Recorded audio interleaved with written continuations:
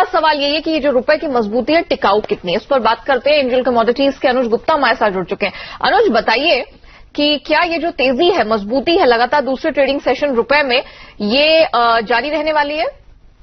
नैया ji good morning देखिए technical chart में अगर देखें तो मार्केट डेफिनेटली ओवरबॉट जोन में है। तो मुझे हम्म। लगता है कि कुछ सस्टेन हो सकता है। साथ में हमने अभी दो दिन पहले ही इंडियन आईआईटी का डेटा देखा था जो कि काफ़ी पॉजिटिव था। इसका रिएक्शन हमने इक्विटी मार्केट पर देखा जो कि मार्केट पॉजिटिव क्लोज हुआ इंडियन रुपीज़ यहाँ पर एप्रिशिएट होकर बंद हुआ। साथ में हमने जो यूएस का डॉलर गिरावट में देखा है उसका असर भी यहाँ पर आते हुए दिखाई दिया तो मुझे लगता है कि थोड़ा मार्केट अभी यहाँ सस्टेन कर सकता है हम्म। और एक्सपेक्टेड है कि जो लेवल्स अभी करीबन 71.87 चल रहे हैं सितंबर कॉन्ट्रैक्ट में इस बार हो सकता है कि 71.50 तक के लेवल दिखा सकता है। मैं थोड़ा एप्रिसिएशन जो कि जो लेवल्स अभी करीबन 71.87 चल रहे हैं सितंबर कॉन्ट्रैक्ट में इस बार हो सकता है कि 71.50 तक के लेवल दिखा सकता है। मैं थोड़ा एप्रिसिएशन जो है वो भी मुझे लगता है कि एक या दो दिन और देखने को यहाँ मिल सकता है। एक और दो दिन और अप्रिसिएशन दिखेगा। मुझे बताइए अमेरिका में कुछ अहम डेटा आने वाले हैं। आज का दिन काफ़ी इम्पोर्टेंट है वहाँ के इकोनॉमिक डेटा के लिहाज से। आ, क्या लगता है? रुपए में फिर क्या कोई कॉशियस ट्रेड होगा? अगले हफ़्ते की तैयारी एक्सपेक्टेशन कैसी रहेगी? देखिए, मुझे लगता है कि यूएस के अंदर जो डेटा रहेंगे थोड़े मिक्स रहेंगे। अगर हम यूएस के डेटा की बात करें, यहाँ पर एक्सपोर्ट फिगर आने वाले हैं एक्सपोर्ट प्राइस इंडेक्स आने वाले हैं इंपोर्ट प्राइस डेटा आने वाले हैं। ये सब डेटा जो है, थोड़े से मतलब ओवर देखें तो हाई हाई डॉमिनेंट रहेंगे डॉलर के ऊपर। अगर डेटा पॉजिटिव आते हैं तो जो डॉलर है, वो थोड़ा फिर एप्रिशिएट होता हुआ दिखाई देगा तो हो सकता है कि उसमें फिर इंडियन रुपीज़ थोड़ा सा वीक होते हुए दिखाई दे। बट मुझे लगता है कि मार्केट थोड़ा सा एक रेंज में रहेगा, क्योंकि ट्रेड वॉर की वजह से कहीं ना कहीं जो ट्रेड है इंडस्ट्री है, वो यहाँ पर रोज दिखाई दे। तो मुझे लगता है कि मार्केट थोड़ा मिक्स ही आने वाला है डेटा और हो सकता है कि उसकी वजह से जो डॉलर है, वो भी थोड़ा सा प्रेशर में होता हुआ दिखाई देगा। तो मुझे लगता है कि आने वाले एक और दो दिन में जैसे हम देख रहे हैं कि इंडियन रुपीज़ हो सकता है कि कुछ और एक्सप्रेशन की तरफ़ आता हुआ दिखाई दे। अनुज हम डॉलर डॉलर यहाँ पर बात कर रहे हैं ट्रेड वॉर की बात कर रहे हैं लेकिन आपको नहीं लगता कि ये जो रफ्तार रुपए में एक तरह से कह सकते हैं कि जान लौटी है इसके पीछे घरेलू न्यूज़ भी यहाँ पर जिम्मेदार है। सैटरडे को यहाँ पर जो प्रधानमंत्री की तरफ़ से आर्थिक हालात की समीक्षा होने वाली कुछ अहम ऐलान की तरफ़ अब बाज़ार नज़र गड़ाए बैठा है। क्या आपको लगता है कि उसका कोई अहम रोल है क्या एक्सपेक्ट किया जाए घरेलू फ्रंट पर? देखिए उसका असर हमने देखा है कि पहले भी हमने कमेंट्स आते हुए देखे हैं कि जो इंडियन रुपी जितना वीक हुआ है उसका कोई असर नहीं पड़ेगा। तो वो पॉजिटिव इम्पैक्ट भी है और हो सकता है कि आगे भी ऐसे ही कमेंट आते हुए दिखाई दें क्योंकि जो भी इंडियन रुपीज़ या करेंसी डेप्रिशिएशन वो ऐसे ग्लोबल देखने को मिल रहा है सारी मेजर इमर्जिंग इकोनॉमिक की जो कंट्रीज़ है उनकी करेंसी डेप्रिशिएट होती हुई दिखाई दी है। इंडिया हाँ, हाँ। भी उसमें से एक है। मुझे लगता है कि उतना बड़ा इम्पैक्ट शायद ना हो सकता कि पॉजिटिव वे में जो इकोनॉमिक समीक्षा है, वो यहाँ पर देखने को मिले। तो मुझे लगता है इससे ज़्यादा इम्पैक्ट नहीं पड़ेगा, वो थोड़ा पॉजिटिव वे में ही आता हुआ दिखाई देगा। ओके, रुपए से जुड़ा एक और सवाल। अमेरिका में ब्याज दरें बढ़ने के अनुमान है, लगभग रास्ता साफ़ ही दिखाई दे रहा है। Unless until all of a sudden एक यू टर्न ले, क्या रुपया फिर आपको इस महीने के अंत तक आने वाले कुछ हफ्तों में पिछहत्तर का स्तर छूता दिख रहा है उसमें वक्त है अभी? देखिए नो डाउट की जो इंडियन रुपीज़ का ट्रेंड है वो डेप्रिसिएशन की तरफ़ है। हालाँकि कुछ कूल डाउन हमने देखा है तो इसका मतलब ये नहीं है कि आगे भी इंडियन रुपीज़ एप्रिशिएट होगा। हम्म। हो सकता है कि यहाँ से मार्केट तीस से चालीस पैसे एप्रिशिएट हो मीन करीबन सेवेंटी वन से लेकर seventy one point five zero ये रेंज रहेगी जहाँ पर मार्केट कहीं ना कहीं सपोर्ट लेता हुआ दिखाई देगा। ओवरऑल ट्रेंड डेप्रिसिएशन का है तो अगर किसी को शॉर्ट टर्म ट्रेड के पॉइंट ऑफ़ व्यू से चलना है तो दिखवाली करके चले बट अगर किसी को लॉन्ग टर्म ट्रेड लेना है तो हमारा मानना है कि अभी भी 74 से लेकर 75 तक के जो दरवाजे हैं वो ओपन है। तो हो अच्छा। सकता है कि 74 से लेकर 75 तक के लेवल देखने को मिले। तो रुपया डिप्रिशिएट करेगा, लेकिन छोटी अवधि में यूएसडी आईएनआर बेच कर चले। इकहत्तर पचास और इकहत्तर, ये एक स्ट्रांग सपोर्ट फ़िलहाल दिखाई दे रहा है और रुपया इस दायरे को नीचे तोड़ता हुआ नहीं दिखाई दे रहा है। लेकिन लंबी अवधि के लिए यस पिछहत्तर के दरवाजे, चौहत्तर और पिछहत्तर के दरवाजे अभी भी खुले हैं। चलिए, ये तो बात हो गई रुपए की। अभी आप क्योंकि मान रहे हैं कि रुपए में इस प्रकार की स्ट्रेंथ रहेगी तो जरा मुझे बताइए इंटरनेशनल मार्केट में सोना चमक रहा है? थैंक्स टू डॉलर इंडेक्स जिसकी सेफ़ हेवन अपील थोड़ी समय के लिए सुस्ताती दिखी है लेकिन एसपीडीआर गोल्ड होल्डिंग्स ये तो लगातार छूटती चली जा रही है साढ़े तीन साल के लोज पर है निवेशकों का कहीं भी रुझान इनमें दिखाई नहीं दे रहा है बड़े मिक्स संकेत हैं बुलियन के लिए। Uh, इन तीनों फैक्टर्स को जोड़ते हुए अनुज सोने चांदी में क्या किया जाए? देखिए, इस बार ईटीएफ e में डेफिनेटली कुछ गिरावट है बट अगर हम सेंट्रल बैंक की बाइंग देखें तो वो हमने पिछले दो महीनों में बढ़ती हुई देखी है। तो इस बार अगर हम देखें तो जो गोल्ड का रुझान है, वो ईटीएफ e से हटकर साथ में अगर देखें तो फ़िज़िकल गोल्ड की तरफ़ आता हुआ दिखाई दिया, जिसकी वजह से हमने गोल्ड के अंदर एक अपसाइड मोमेंटम देखा है। और साथ में, जो पूरे ही वर्ल्ड इकोनॉमी में जो सिचुएशन चल रही है, थोड़ी सी क्लियर नहीं है, जो कि पूरे पे आता हुआ दिख रहा है, जिसकी वजह से हमने हालाँकि गोल्ड की स्पीड उतनी स्पीड से नहीं बढ़ी जितना हम एक्सपेक्ट कर रहे थे बट जो मोमेंटम आ रहा है धीरे धीरे आज भी हम देखें तो बारह सौ पाँच सौ दस डॉलर के आसपास के लेवल्स देखने को मिल रहे हैं। तो धीरे धीरे इसमें अपसाइड मोमेंटम आता हुआ दिख रहा है। तो मुझे लगता है कि गोल्ड अभी भी थोड़ा सस्टेन सस्टेनेबल रेंज में है जहाँ पर अभी भी बाइंग इनिशिएट कर सकते हैं। हमें लगता है कि धीरे धीरे इसमें एक अपसाइड मोमेंटम आता हुआ दिखाई देगा। बट अगर इंटरेस्ट रेट बढ़ता है फेड की तरफ़ से तो हो सकता है कि वहाँ पर कुछ थोड़ी सी गिरावट देखने को मिले। बट मुझे लगता है कि वो सब अब जो न्यूज़ है कि काफ़ी दिनों से ये चल रहा है कि इंटरेस्ट रेट बढ़ाएँगे तो मुझे मेरा मानना है कि सेवेंटी एटी परसेंट वो न्यूज़ यहाँ डिस्काउंट होती हुई दिखाई देगी। तो मेजर जो फैक्टर रहेगा वो चाइना और यूएस का ट्रेड वॉर रहेगा। ओके okay, तो सोना यहाँ एंजल कमोडिटीज की तरफ़ से सेल नहीं खरीदारी की रिकमेंडेशन है और वो यहाँ पर तीस हज़ार छह सौ का टारगेट रेकमेंड कर रहे हैं। आ, मुझे ये बताइए कि अब यहाँ से चांदी में किस प्रकार का मूव होगा? क्योंकि बेस मेटल्स में भी कुछ रिकवरी दिखी है न्यूज़ के तर्ज पर। सोने का भी तो सपोर्ट मिलना चाहिए। जी बिल्कुल बेस मेटल्स में देखें तो हमने एक अपसाइड मोमेंटम देखा है। हालाँकि बे, बेस मेटल्स में जो ट्रेंड रहा है वो थोड़ा सा मिक्स रहा है जहाँ पर हमने जिंक में गिरावट देखी है और कॉपर और निकल हमने बाउंस बैक होते हुए देखे हैं। तो मुझे लगता है कि यहाँ पर थोड़ा सा मिक्स ट्रेंड रहेगा बट सिल्वर जो है अगर हम इंटरनेशनली देखें तो चौदह डॉलर काफ़ी अच्छा सपोर्ट लिया है। और एमसिक्स की अगर बात करें तो करीबन छत्तीस हज़ार पाँच सौ छत्तीस हज़ार आठ सौ पाँच का सपोर्ट जोन है। तो मुझे लगता है कि टेक्निकल पॉइंट ऑफ़ व्यू से मार्केट डेफिनेटली एक पॉजिटिव टेरिटरी में धीरे धीरे आता हुआ दिख रहा है। अगर आप फंडामेंटली भी जाए तो मुझे लगता है कि गोल्ड का जो अगर गोल्ड के भाव ऊपर आएँगे धीरे धीरे तो सिल्वर भी यहाँ पर पॉजिटिव वे में ऊपर आती हुई दिखाई देगी। तो सिल्वर भी हमें लगता है कि बैंक साइड में ट्रेड लिया जा सकता है। ओके. चलिए तो बुलियन में तो आज खरीदारी बनती है रुपए में स्ट्रेंथ के बावजूद भी, क्योंकि इंटरनेशनल मार्केट चढ़ा हुआ है और उसका सपोर्ट जारी रहेगा।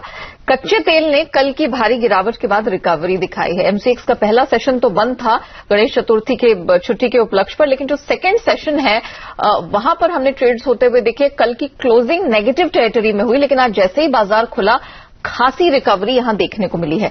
लेकिन अनुज, जो सबसे बड़ी बात सामने निकलकर आई है, पहले आईईए ने ही इंटरनेशनल एनर्जी एजेंसी ने ही पिछले महीने कहा कि सप्लाई स्क्वीज के लिए आप तैयार रहिए। बाकलेज बीएनपी पारेबा सबने यहाँ पर अपने एवरेज प्राइसेस बढ़ा दिए कच्चे तेल के लिए।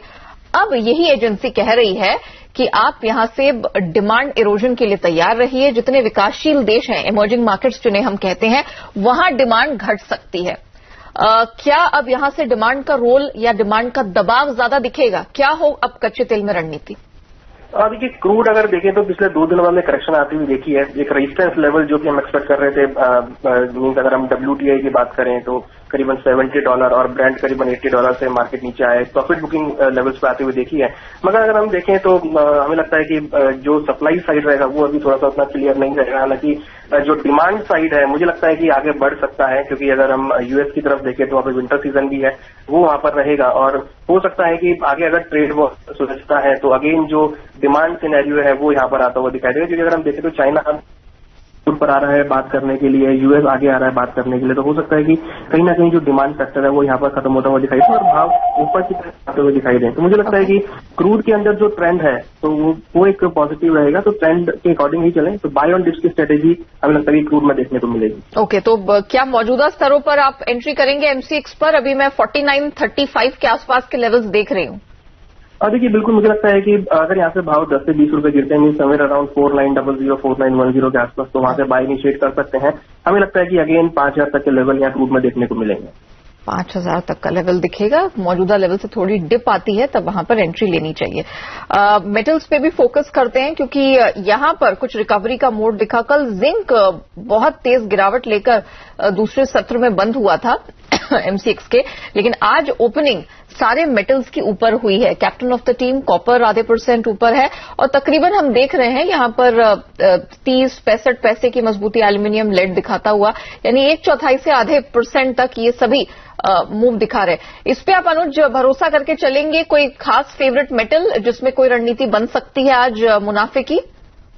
देखिए, मुझे लगता है कि कॉपर एक रहेगा जहाँ पर हम बाय इनिशिएट कर सकते हैं। समझ अगर हम लेवल्स को देखें। तो 430 के अराउंड चलता है। भाव अगर 429 मीन एक से डेढ़ रुपए का भाव में करेक्शन मिलता है 429 के आसपास तो बाय करना चाहिए। स्टॉप लॉस करीबन चार सौ छब्बीस का रहता है। टारगेट करीबन चार सौ पैंतीस, चार सौ छत्तीस तक हो सकता है। और साथ में अगर हम निकल की तरफ़ देखें तो जहाँ पर हमने अब 900 के ऊपर के लेवल आते हुए देखे हैं तो मुझे लगता है कि निकल के अंदर भी बाय इनिशिएट कर सकते हैं। स्टॉप लॉस आठ सौ नब्बे का रहेगा टारगेट करीबन नौ सौ तीस रुपए तक देखने को मिल सकता है। ओके. मुझे ये बताइए कि क्या ये जिंक में जितनी मजबूती थी, आनी थी, क्या वो आ गई है या वो फिजल आउट हो गया है? क्योंकि स्टील की स्टोरी तो बहुत ज़्यादा काम करती दिख नहीं रही, एक रेंज में फंसकर रह गया और खासतौर से चीन की तरफ़ से जो ऐलान निकल कर आए हैं, क्या ये स्टेनलेस स्टील के इंग्रेडिएंट्स की स्टोरी जिंक लेड निकल की स्टोरी थोड़ी फिजल आउट दिख रही है? तो उसमें अगर देखें तो डेफिनेटली अगर हम टेक्निकल चार्ट को देखें तो मार्केट ओवरसोल्ड जोन में है मगर हाँ. कट थोड़ा सा नेगेटिव है। तो इंट्राडे परस्पेक्टिव से अगर किसी को ट्रेड करना है और भाव अगर नीचे मिलते हैं करीबन 167 के आसपास तो बाय ले सकते हैं। टारगेट ऊपर 171 तक हो सकता है। तो तेज़ी जो अब जिंक में मिलेगी वो 172 के ऊपर अगर मार्केट क्लोज होता है तो एक अपसाइड मोमेंटम हो सकता है। अदरवाइज़ मुझे लगता है कि मार्केट नीचे 167 से लेकर 172 ये रेंज रहेगी जहाँ पर मार्केट मूव कर सकता है। एल्यूमिनियम के लिए आप अभी अक्यूमुलेशन में कंफर्टेबल हैं या आप चाइना के मूव को थोड़ा देखना चाहेंगे कि विंटर में उनका क्या यहाँ से क्या रणनीति रहती है? देखिए मुझे लगता है कि एल्यूमिनियम एज कंपेयर थोड़ा पॉजिटिव रहेगा तो एल्यूमिनियम के अंदर हमें लगता है कि बाइंग साइड में ट्रेड लिया जा सकता है हाँ? अगर हम देखें तो वर्ल्ड वाइड भी जो aluminium as a commodity physical के अंदर रेट बढ़ते हुए दिखाई दिए हैं तो हमें लगता है कि एल्यूमिनियम के अंदर भी बाइंग साइड में रहना चाहिए। ऊपर एक्सपेक्टेड है कि अगेन 148, 149 तक के लेवल देखने को मिल सकता है। क्या ट्रेड वॉर के अलावा ऐसे और फैक्टर्स हैं जिन पर फोकस करने की ज़रूरत है? ये साल आप अंत कैसा होता देख रहे हैं मेटल्स के लिए? अब जो एक तिमाही बची है। देखिए ट्रेड वॉर की वजह से मुझे लगता है कि इन्वेंट्रीज बहुत इंपॉर्टेंट रहेंगी जो हाँ। कि बेस मेटल को आगे जो डायरेक्शन प्रोवाइड करेंगी। क्योंकि हम देखें तो जनरली जो ईयर एंडिंग होती है तो वहाँ पर जो है जो भी कंपनीज़ होती हैं जो भी हेज फंड होते हैं वो अपनी पोर्शन को लिक्विडेट करते हैं. तो वहाँ डिपेंड करेगा कि वो कितना अपना क्वांटिटी अपनी कितनी इन्वेंट्री को मेंटेन करके चलते हैं नेक्स्ट ईयर के लिए तो मुझे लगता है कि वो एक इंपॉर्टेंट फैक्टर रहेगा और साथ में डिमांड डेफिनेटली ट्रेड वॉर अगर सुलझती है तो हम्म। वहाँ पर कितनी डिमांड निकल कर आती है जो कि बेस मेटल को सपोर्ट करेगी तो मुझे लगता है कि ये फैक्टर ज़्यादा इंपॉर्टेंट रहेगा और मुझे लगता है कि हमने पूरे जनवरी से लेकर अगर हम देखें तो मार्केट काफ़ी वॉलेटाइल देखा है मुझे लगता है कि अब जो आने वाले तीन या चार महीने हैं हम्म। दिसंबर तक वहाँ पर मार्केट हमें लगता है कि थोड़ा वॉलेटाइल कम रहेगा और जो डायरेक्शन रहेगी वो थोड़ी पॉजिटिव हो सकती है। हो गई। अनुज हमारे साथ है। अनुज ये बताइए सोयाबीन में गिरावट और गहराती दिख रही है आपको? जी बिल्कुल अगर देखें तो आ, इंडियन आ, मार्केट के अंदर एनसीडीएक्स के अंदर या फ़िज़िकल मार्केट की बात करें तो वहाँ पर सप्लाईज बढ़ती हुई दिखाई दी। क्रॉप अच्छी है एकरेज बड़ा है तो मुझे लगता है कि सोयाबीन के अंदर भाव कुछ नरमी की तरफ़ देखने को मिल सकते हैं। मगर इंपॉर्टेंट अगर हम लेवल्स की साइड देखें जो कि करीबन बत्तीस सौ चालीस चवालीस के अराउंड अक्टूबर कॉन्ट्रैक्ट चल रहा है। तो मुझे लगता है कि यहाँ से ज़्यादा गिरावट देखने को नहीं मिलेगी। हो सकता है कि भाव कहीं ना कहीं इकतीस के आसपास एक्यूमुलेट होते हुए दिखाई दें। तो मुझे लगता है कि अगर ट्रेडिंग पॉइंट ऑफ़ व्यू से बात करनी है तो शॉर्ट टर्म ट्रेडिंग के लिए बिकवाली कर सकते हैं। मगर अगर लॉन्ग टर्म ट्रेडिंग लेनी है तो इकतीस के आसपास के लेवल्स मिलते हैं। मीन करंट रेट से डेढ़ सौ रुपए। तो एक सेलिंग एक्टिविटी कर सकते हैं। हाँ। मगर पोजिशनल तौर पर अगर लेना है तो इकतीस के आसपास मुझे लगता है कि भाव रहेंगे जहाँ से अगेन बाइंग एक्यूमुलेट की जा सकती है। अब अगर वो अक्यूमुलेशन की जो आप बात कर रहे हैं, क्या ये इससे भी इफेक्टेड है कि यहाँ पर सरकार ने तीन योजनाएँ जो निकाली हैं अनाज की खरीदारी के लिए, उसमें प्राइवेट प्लेयर्स हैं वो यहाँ पर ऑयल सीड्स की खरीदारी करेंगे। आगे जाते हुए क्या ये जो स्कीम है, इसका फ़ायदा आपको मिलता दिख रहा है तिलहन को? देखिए बिल्कुल अगर प्राइवेट प्लेयर्स आते हैं हमने जब भी देखा है कि जब भी प्राइवेट प्लेयर्स आए हैं तो एक अपसाइड मोमेंटम रहा है। इवन हाँ। हमने गेहूँ के अंदर भी हिस्टोरिकली देखा है कि जब भी प्राइवेट कंपनीज़ गेहूँ की खरीदारी करती हैं तो भाव ऊपर आते हुए दिखते हैं। सिमिलरली हाँ। अगर तिलहन की भी खरीदारी अगर प्राइवेट मार्केट में होती है तो डेफिनेटली एक सपोर्ट मिलता हुआ दिखाई देगा और भाव ऊपर की तरफ़ आते हुए दिखाई देंगे। ओके राइट मुझे अब ये बताइए कि मसाले पैक पे जरा फोकस करेंगे। हल्दी में हमने कुछ स्विफ्ट रिकवरी आते हुए देखी है। ये एक ऐसी कमोडिटी जो बहुत समय से दायरे में थी लेकिन अब ये मजबूती दिखा रही है। क्या ये मजबूती टिकाऊ है? आपको क्या लगता है? पाँच महीने के लो लेवल से जो रिकवरी आई है is it here to stay और देखिए बिल्कुल मुझे लगता है कि टर्मरिक अगर हम बाकी जितने भी मसाले हैं सबको इवेल्युएट करें तो टर्मरिक अभी भी आ, काफ़ी अंडर टोन में चल रही है। और हमने देखा है कि जो मार्केट बाउंस बैक हुआ है वो काफ़ी सपोर्ट जोन से हुआ है। टेक्निकल चार्ट पर अगर देखें तो भाव काफ़ी नीचे हैं। हमने रिसेंटली ही छिहत्तर के लेवल देखे थे और अब हमने करीबन छह या छह सौ के आसपास के लेवल देख रहे हैं अक्टूबर वायदा में। कहीं ना कहीं भाव काफ़ी लोअर लेवल्स पे जो कि यहाँ पर अट्रैक्ट कर रहा है बाइंग करने के लिए। इम्पोर्ट जो अगर हम एक्सपोर्ट्स की बात करें तो एक्सपोर्ट यहाँ पे काफ़ी अच्छे हैं अच्छा। टर्मरिक के। तो मुझे लगता है कि स्पाइसेस अगर टर्मरिक देखें तो इन लेवल्स पे हमें लगता है कि यहाँ से बाइंग की जा सकती है। जीरा में भी आप इतने ही कॉन्फिडेंट हैं क्योंकि ये भी कमोडिटी है एक्सपोर्ट डिमांड के दम पर बहुत तेज़ी से भागी है। क्या अभी और भी रूम है इसके चढ़ने का? क्योंकि अभी तो आधे परसेंट ऊपर है। और देखिए जीरा मुझे लगता है कि यहाँ पे हो सकता है कि थोड़ा एक्यूमुलेट हो और हो सकता है कि भाव यहाँ पर कुछ प्रॉफिट बुकिंग देखने को मिले। हालाँकि ट्रेंड भी इसका पॉजिटिव है बट करंट लेवल से बाइंग मुझे लगता है कि नहीं करनी चाहिए। अभी जो अक्टूबर कॉन्ट्रैक्ट है, उन्नीस हज़ार नौ सौ अस्सी के राउंड चल रहे हैं। भाव अगर थोड़े करेक्ट होते हैं, उन्नीस हज़ार सात सौ, उन्नीस हज़ार पाँच सौ के आसपास तो वहाँ से बाइंग एक्टिविटी करनी चाहिए। बट करंट लेवल मुझे लगता है कि यहाँ पे रिस्क रिवॉर्ड अच्छा नहीं बन रहा है। तो यहाँ पे वेट एंड वॉच करना चाहिए। थोड़ी गिरावट आए तो ही बाय करके चले। ओके चने पर जरा फोकस करिए, अनुज। हमने चने को देखा है कि चार हज़ार के पास ये अपने लेवल को होल्ड करने की कोशिश कर रहा है। अभी हम देख रहे हैं, बिल्कुल दायरे का ट्रेड है तीन हज़ार नौ सौ सत्तावन के करीब। क्या आपको लगता है कि आगे जाते हुए त्योहारी डिमांड का इसको सपोर्ट मिलेगा? जो सरकार की नई नीतियाँ आ रही हैं किसानों को भुगतान करने की डायरेक्टली उसका कितना सपोर्ट आपको मिलता दिख रहा है? देखिए चना मुझे लगता है कि अगर हम देखें तो पिछले तीन दिनों में, अगर हम पिछले एक हफ़्ते की बात करें तो नीचे में अड़तीस से बाउंस बैक होकर करीबन इकतालीस सौ का लेवल दिखा चुका है। मुझे लगता है कि यहाँ पर थोड़ा सा मार्केट कंसोलिडेट हो सकता है मगर जो ट्रेंड पकड़ा है लोअर लेवल से वो हमें लगता है कि पॉजिटिव रहेगा। चेन्नई के अंदर हमें लगता है कि अगर ट्रेडिंग एक पॉइंट ऑफ़ व्यू से किसी को ट्रेड लेना है तो बाय करके चले चार हज़ार बीस चार हज़ार तीस के आसपास बाय कर सकते हैं।